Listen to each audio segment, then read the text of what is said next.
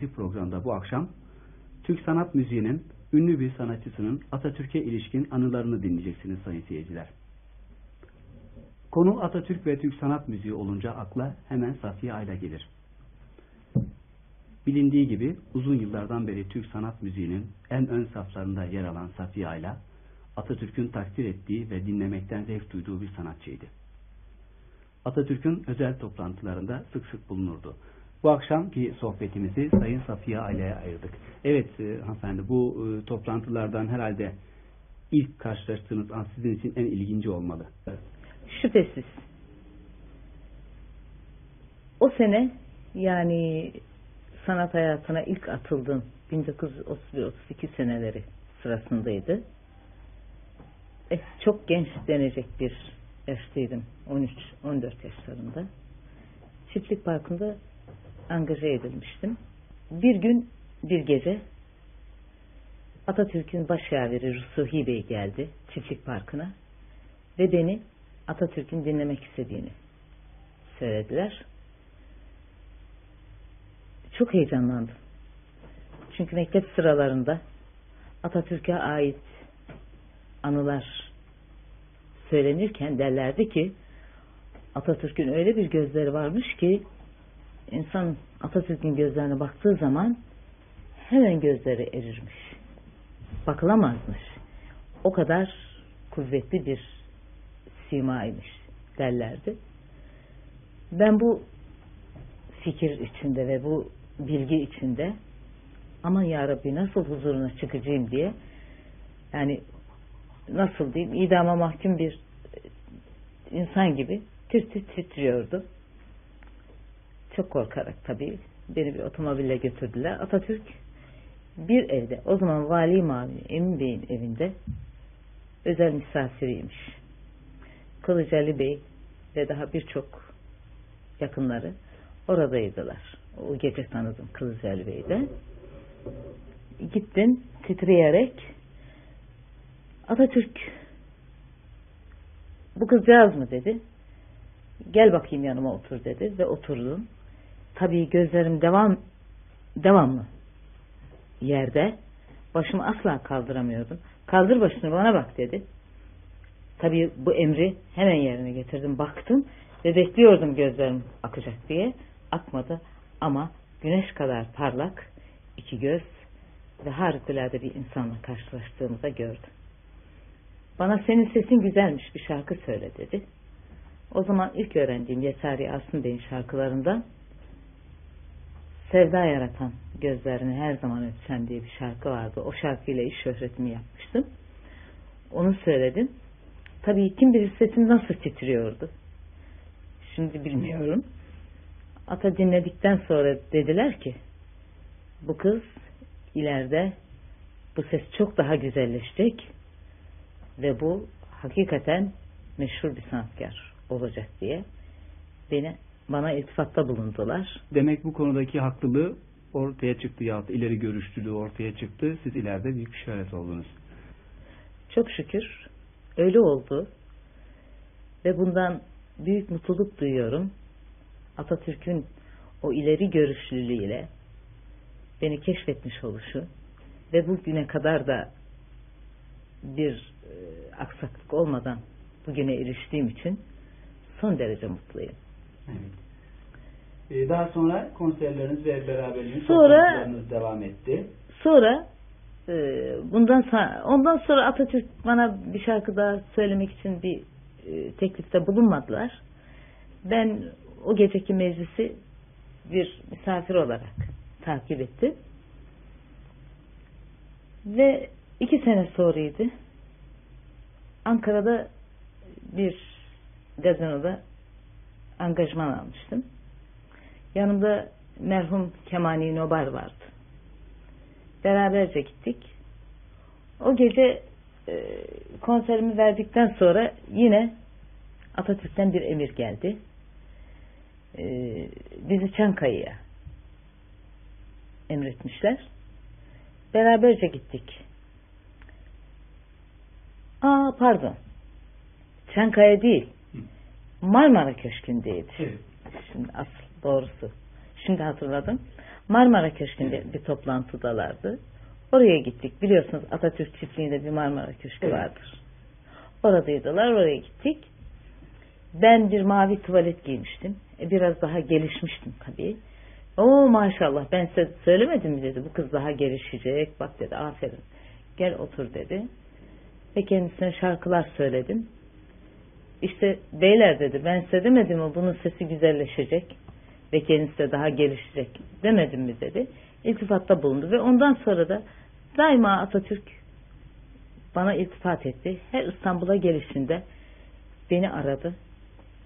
Bilhassa Ankara'dan hareketli bazı zamanlar aradığı zaman zor bulunduğu için polis müdürü Atatürk Ankara'dan hareket ettiği zaman bana telefon ederdi. Safiye Hanım sakın evden bir yere ayrılmayın. Atatürk size hemen isteyebilir. Atatürk etrafındaki insanların hususi hayatıyla daima ilgilenirdi. Biz huzuruna daima Selahattin Pınar, Nobar Tekyal ile beraber giderdik. Bize sorardı ne kadar yevmiye aldığımızı. Bir gün bana sorduk. Sen dedi nerede çalışıyorsun? Nerede efendim dedim. Ne kadar para alıyorsun dedi gecede. 35 lira alıyorum dedim. Bu paranın hepsini yiyor musun dedi. Anlayamadım. Nerede çalışıyordunuz? Belvi'de. Belvi. Evet. Belvi'de dedi. Dedim. Ve 35 lira yemeğe alıyorum dedim. Bu paranın hepsini iyi bir para dedi. Paranın hepsini yiyor musun dedi. Sakın hepsini sarf etme dedi. Bir kısmını ayır. Daima ekonomi yapmak insanların kazancından bir kısmını kötü günlere için ayırması şarttır dedi. Ve ben onun bu nasihatını daima birinci planda tutmuş bir insanımdır. Efendim sizden özellikle dinlemek istediği şarkılar nelerde? Atatürk meclisinde zaten e, şarkıların programını kendisi seçerdi. Ve biz onun beğendiği, sevdiği şarkıları bilirdik. Atatürk ilk Atatürk'ten ilk öğrendiğim şarkı Mani oluyor halimi takrire hicabım şarkısıydı. Bu şarkıyı bana bizzat kendisi öğretti. Ve her ne zaman söylesem de da- demek. hiç şüphesiz Evet. çok dinlemiş ve Türk musikisine ait bir mühim bir kültürü de vardı. Ve Garp musikisinden de epeyce şeyler biliyordu. Çünkü o zaman bir çelist vardı. İsmi neydi ya? Şimdi hatırlamıyorum. Tünel civarında bir yerde çalışıyordu. Onu çağırmıştı. Ondan Toska'yı istemişti. Toska söylenirken de kendisi iştirak ediyordu. Onu da hiç unutmuyorum yani. Evet. e, O, o ustada bir bilgiye sahipti. Yani umumiyetle musikiyi seviyor ve ilgileniyordu. Kendi yaptığı programların başında işte ben bu mani oluyoruz daima biliyorum daima programlarda vardı ve her söylediğim zaman bir tarafını tavsiye ediyordu kendisi. Ne zaman ben söylesem hayır bunu böyle yapma böyle söyle diyordu. Ondan sonra e, Selahattin Pınar'ın şarkılarından da yeni olarak kendi e, eski programına ilave etmişti. Gel gitme kadın. Nereden sevdim o zalim kadını gibi şarkıları da yeni olarak o zaman programına ilave etmişti. Rumeli türkülerini severdi. Çünkü annesinin bu türküleri sevdiğini ve söylediğini tekrar ederdi. Onları da koyardık. Şahane Gözleri çok beğenirdi. Bir de onu ağlatan bir şarkı biliyorum. Yemen türküsü. Bir gün onu söyledim. Onu Nevres Bey'den öğrenmiştim. e, bunu sözleri kendi- nasıldı efendim? Havada bulut yok. Bu ne dumandır. Evet. Mahlede ölüm yok. Bu ne sedandır diye başlar. Bura Yemen'dir. Anu yemendir, gülü çimendir, giden gelmiyor, acap nedendir diye söylediğim zaman Atatürk'ün gözlerinden yaş geldiğini gördüm. Ağlamıştı. Ve dedi ki işte yok yere Türk çocukları gidip Yemen ellerinde öldüler. Ne lüzum vardı buna dedi. Evet. Onu Herhalde. iyice hatırlıyorum yani. Savaşta O kaybettiği kısa. tabii. Savaşta kaybetmek değil, Türk çocuğunun gidip de Yemen'de Tabii. ölmesi Evet. ona hazin bir, Tabii. lüzumsuz gelmişti. Ve e, ona çok üzgündü. Onun için e, galiba bilmiyorum ben siyasetten anlamam ama daima biz kendi sahamız içinde kendimizi müdafaa edeceğiz ve hiçbir yere Tabii, gitmeyeceğiz. yurtta yani yurtta yurtta düşüncenin yurtta evet, yurtta sulh, cihanda sulh prensibini böylece hatırlıyorum yani onunla bir araya getiriyorum. Çünkü bu iştenlikle bunu söylemiş ki gözlerinden yaş geliyordu bu şarkıda. Evet. Zaten e, Evet. bilindiği gibi Atatürk'ün büyüklüğü kendi e, sınırları içerisinde kalmış olması bir Hitler gibi yayılma politikası izlememiş olması Evet. kendi vatanını kurmuş Kendi olması kurmasıydı. Sonra son derece mütevazıydı. Saraylarda oturmaktan asla hoşlanmıyordu. Diyor ki ben bu sarayları sevmiyorum. Hatta bir gün Florya Köşkü'nde Kılıçdaroğlu Bey'in küçücük böyle bir evi vardı gece kondu gibi. Dedi ki ben dedi bu köşkten ziyade dedi böyle küçük yerleri tercih etmek istiyorum. Bir vatandaş olarak böyle mütevazi yaşamak istiyorum demişti. Bir gün de hiç unutmuyorum Nuri Conker Bey masasında oturuyordu yanında.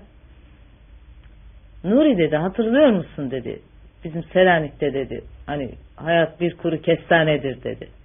Bu hikayeyi hatırlıyor musun dedi. Ve Nuri Conker Bey bu hikayeyi anlattı. Şöyle olmuş. Atatürk o zaman yeni subay olmuş. Tabi mahdut bir maaşla gidiyorlar. Biraz gazinoda eğleniyorlar filan. Ay sonu gelmiş. Her memur gibi. Onların da parası azalmış. İki arkadaş bir araya gelmişler. Sende ne var? Bu kadar. Bende de bu kadar. Eh bir ufak rakı içebiliriz demişler. Gitmişler e, gazinoya. Oturmuşlar. Fakat diyor yani bize fevkalade öyle meyveler, mezeler filan getirtecek durumda değildik. Bize sade bir rakı getir suyla dedik diyor.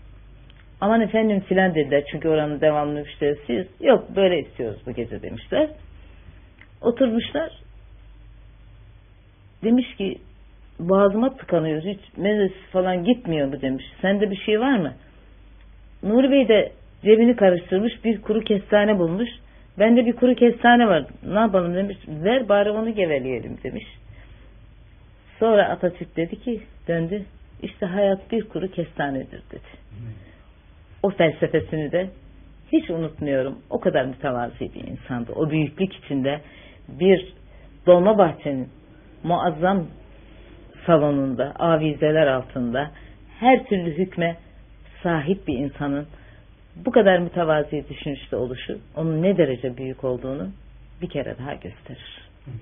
E, son görüşünüz ne zaman oldu onu da Atatürk'ü son görüşüm ya da son anınız diyelim.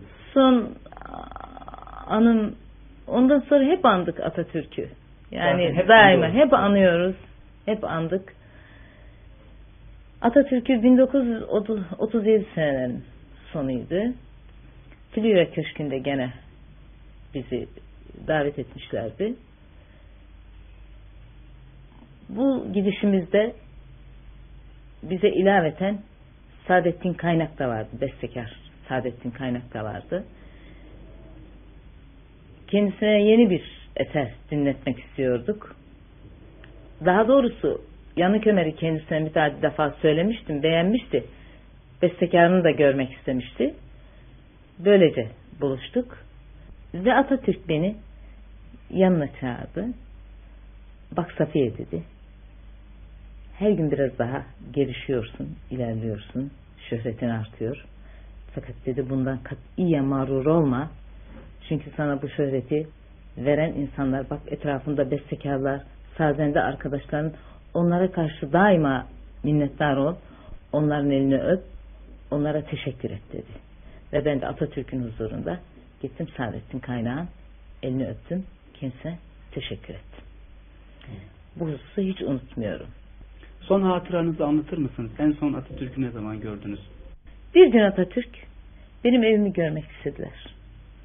Ben senin evini görmek istiyorum ziyaretine geleceğim dedi. Çok şaşırdım kaldım.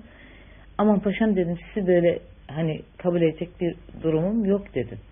Daha henüz şey dememiştim. Yani evimi döşeyip dayayamamıştım. Atatürk bana e, hiçbir şey söylemedi. Aradan bir iki ay kadar bir zaman geçti. Bir gün Karahis'ten bir telefon oldum. Safiye Hanım dedi sizin evinize eşyalarınızı getiriyoruz. Ben şaşırdım ben böyle bir şey size söylemedim dedim. Meşhur kaladis vardı o tebe başında. Adamcağız şimdi vefat etmiş. Hatta e, yeri bile kapanmış. Bir de baktım şu üstünde oturduğumuz kanepe. iki tane şuradaki koltuk. Bir kare büyük yemek masası. Dört sandalyesi. Bir elektrik şeysi. Abajur. Bir büfe ama hepsi son sistem. Fevkalade. Hala bunları eskitemedim. Ve hala bunları en candan bir hatıra olarak saklıyorum. Fakat Atatürk ondan sonra rahatsızlandı. Biliyorsunuz Savran'a yatındıydı. Bir gün demiş ki Kılıcalı Bey'den duymuştum. Selahaddin'i Nobar'ı Safiye'yi çağırsam da şu Savran'a iyi olsam da şu Savran'a yatında bir saz yapsak demişler. Fakat tabi bu bize nasip olmadı. Onun hepimizin yüreklerinde unutulmayacak bir acı olarak kaydettik. Ve bu hatıralar da bana